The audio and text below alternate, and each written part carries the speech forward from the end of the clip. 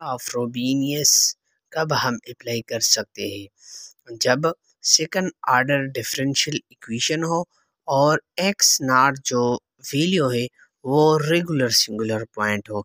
इससे पहले हमने ये पॉइंट्स डिस्कस किए कि what is regular singular points तो वो जो x not regular singular point हो तो फिर हम कौन सा मेथड अप्लाई करेंगे to solve the differential second order differential equation तो फिर हम मेथड ऑफ़ रोबीनियस अप्लाई करेंगे to solve the differential second order differential equation उसका फुल डिटेल लेक्चर आपको मिल जाएगा। लिंक उसके कमेंट में गिवन है।